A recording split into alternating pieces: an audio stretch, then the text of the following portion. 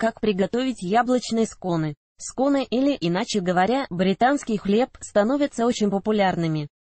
Данные булочки выпекают для завтрака или черпите. Попробуйте вы их приготовить. Я предлагаю вам рецепт сконов из яблок. Видео по теме.